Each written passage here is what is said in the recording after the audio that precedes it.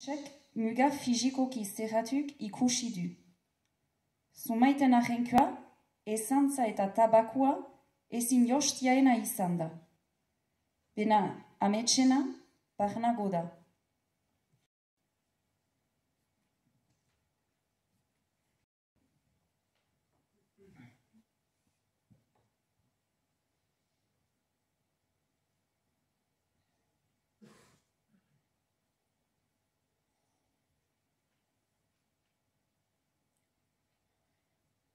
Afrika zolak miseriaren gotorlekua dirudi, baina desertu guzi ez gaindi ametsak ditugu zubi.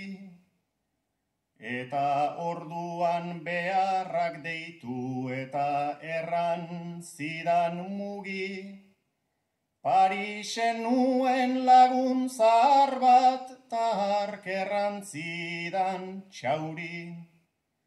Eta geroztik eginagatik, aize eguzkita euri.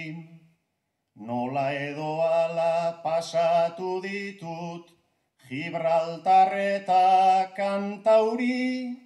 Baina munduko muga guziak ene gorputzeko zauri.